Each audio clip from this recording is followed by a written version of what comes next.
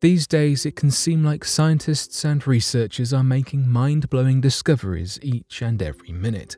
From the outer reaches of space to our long forgotten past, we are only starting to scratch the surface of what we can potentially uncover. So, today, here at Unexplained Mysteries, we'll be taking a look at these recent discoveries.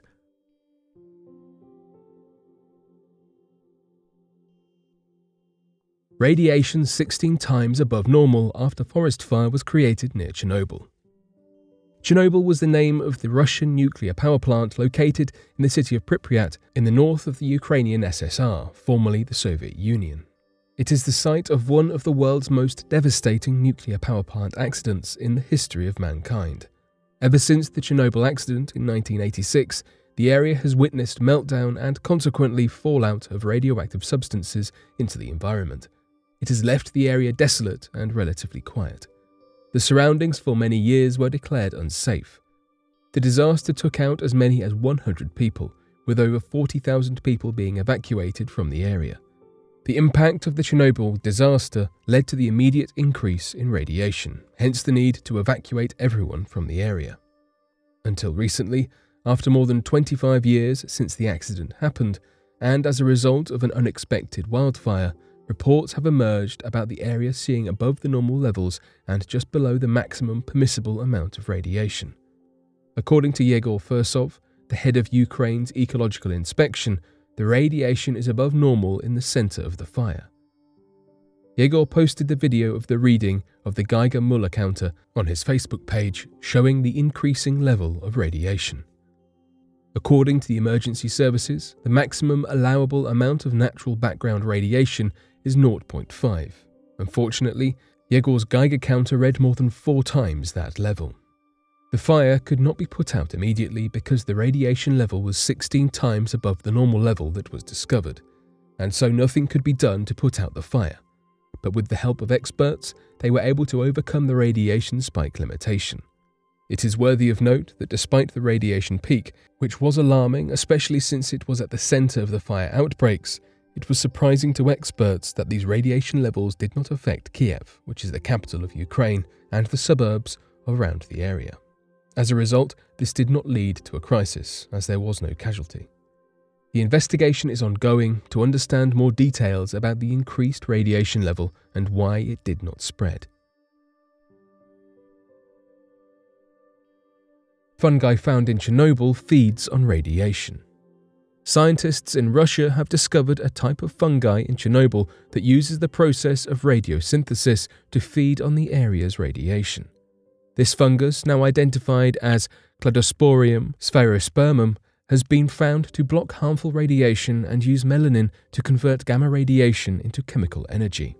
In the future, scientists are interested in using this fungus to help protect astronauts from radiation in space by creating a radiation absorbing shield layer from it.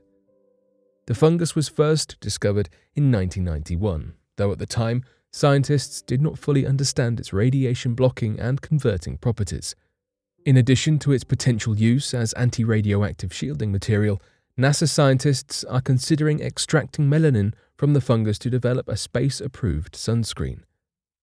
According to Radamés J.B. Cordero, a researcher at Johns Hopkins Bloomberg School of Public Health, we know that space radiation is dangerous and that it damages matter.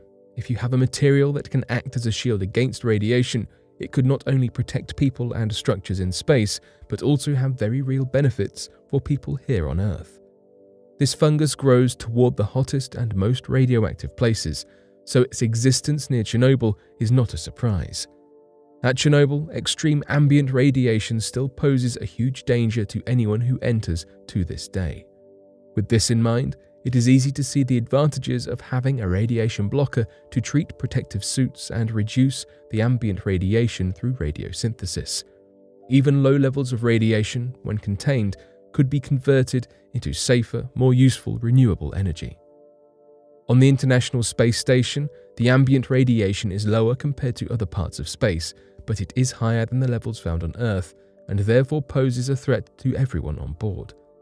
This fungus could help protect those living and working on the ISS and could lead to further discoveries of applications in medicine, safety, and manufacturing. Pilot survives in jungle for 38 days. Crash landing your plane in the middle of the unforgiving Amazon rainforest with no way of communication or any hope of rescue sounds like a plot from a cheesy film. Yet, unfortunately, it is exactly what happened to Brazilian pilot Antonio Sena.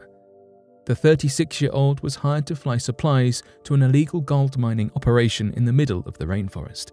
However, he was only halfway there in his single engine plane when the engine failed, leaving him approximately 1,000 meters to make a crash landing decision. Fortunately, he was cushioned by the canopy of the trees and was able to miraculously land unharmed. Unfortunately, he was now stranded in the inhospitable Amazon rainforest, covered in gasoline with only a backpack, three water bottles, four soft drinks, bread, rope, a lantern, and two lighters.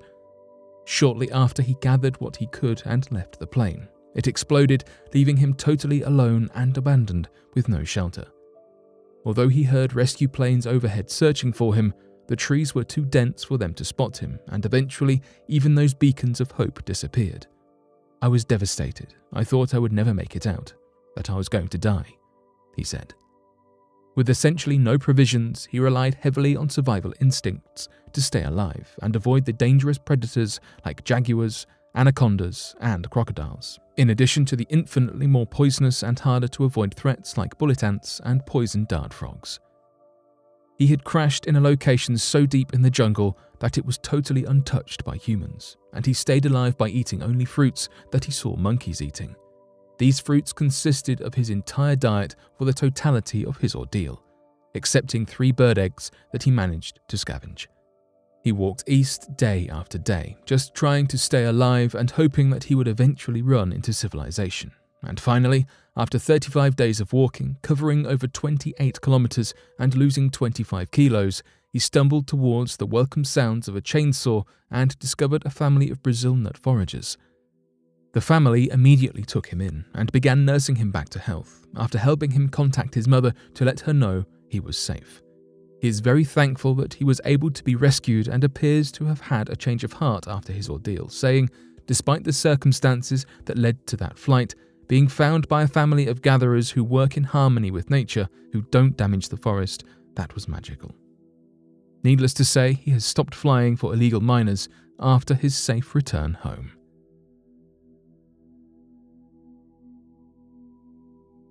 Giant bat found in the Philippines. The internet has given rise to yet another viral post, as a Reddit post sparks discussion around a human sized bat found within the Philippines. A couple of years ago, Reddit user Secundes posted a picture of a gigantic fruit bat in their back garden in the Philippines. It did not take long for the internet to spread this picture around, with many jumping to claim it was trick photography or Photoshop, perhaps sprouting any claim they could think of to deny the existence of a potentially frightening creature. This post picked up traction and internet points once again in the June of 2020, with a Twitter user writing, Remember when I told you all about the Philippines having human sized bats? Yeah, this is what I was talking about. The particular photo in circulation does give the bat some extra size, with the perspective and camera angles used making the bat seem much larger than it likely is. However, the suspected bat species found by user Secundes is definitely larger than the average microbat that may spring to your mind. Flying foxes, given their name due to their facial shape, features, and ears resembling those of a fox, do have human sized wingspans, with the largest species of flying foxbat having a wingspan that can reach up to 1.7 meters or 5.5 feet. Despite their large wingspan being rather intimidating, this creature has a relatively small body, barely larger than 30 centimeters, approximately 11.8 inches. Despite the clever angle initially, the original poster of the photo on Reddit added additional images from a variety of angles, proving authenticity and giving credibility to this impressive sighting.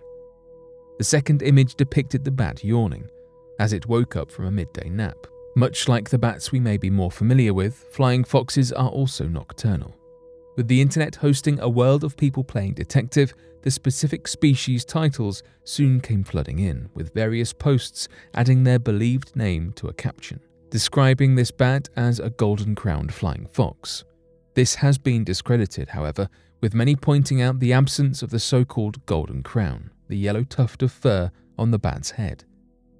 Many think the public have been so quick to name the internet famous back garden crashing bat a golden crowned flying fox due to the great size, as the golden crowned bat is amongst the largest bats in the world, belonging to the family named megabats, which usually reside in Africa, India, Asia, and Oceania.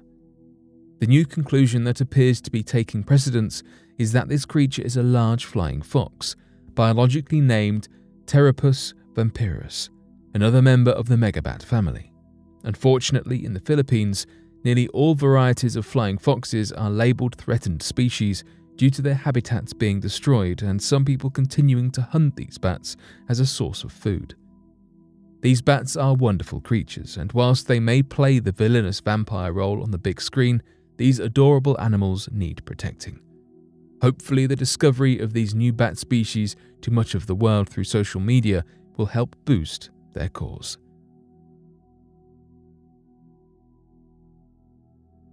Female Amazon warrior buried 2,500 years ago in the Altai Mountains was male.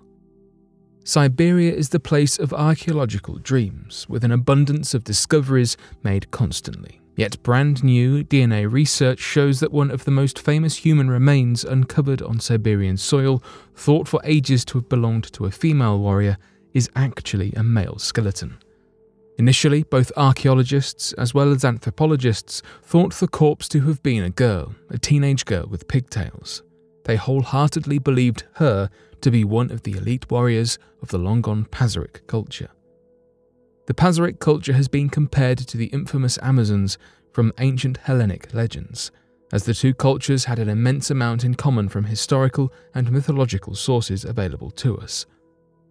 The remains of the warrior were examined by a Swiss expert in taxidermy named Marcel Nyffenegger, who managed to reconstruct what their face might have looked like when they were alive using the facial bones, only to realize the skeletal recreation had seemingly masculine features. The remains were buried beside the tomb of an older male. Archaeologists assumed that the two might have been father and daughter buried side by side. The older man's corpse was buried with battle axes, bows, and arrowheads, whereas the warrior seemed to have been an archer and horse rider, but that was not all the warrior was buried with. Alongside war implements, there were cowrie shells, a rarity in Pazyryk burials, but this implied the body was that of a young woman, as the shells were thought to represent female fertility. Other things in the burial mound included a wooden sort of pillow quivers, and even nine horse remains that were found accompanying the corpse, meant to serve in the underworld. Now that the way archaeology is being tested, especially when it comes to DNA analysis, the tests showed that the body is not female as initially believed, but rather that of a biological man.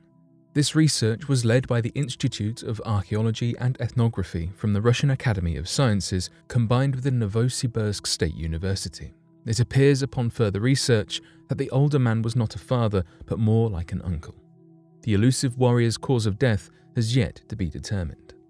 Further analysis is planned on being conducted on the remains and the circumstances surrounding the burial, in the hopes of uncovering more about the individual lives of these long gone people, as well as to discover more about the Pazyryk culture.